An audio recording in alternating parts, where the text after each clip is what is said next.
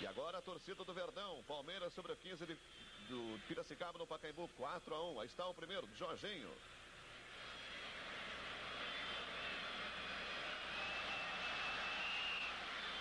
Carlos Alberto Borges lança Paulo Roberto que tenta o cruzamento. No rebote, ele mesmo completa. Palmeiras 2 a 0.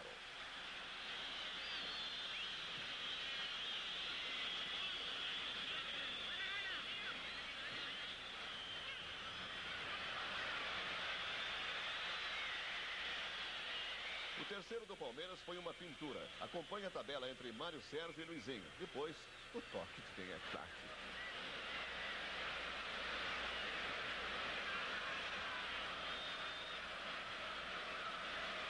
Uso de outro ângulo. O toque de Luizinho de calcanhar. E Mário Sérgio só colocando. O goleiro ainda tentou, né? Diogo aproveita a chance e arrisca de longe. A bola bate na zaga e engana Piazelli. Palmeiras 4 a 0.